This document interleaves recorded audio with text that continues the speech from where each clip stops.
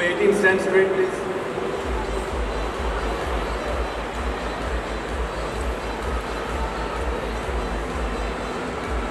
You know, while, while, while uh, it, it happens so often when you judge and when you have such attractive female uh, judges with us, they always ask you, a contestant number 8, 5, and then say, what's his phone number? You know, I said,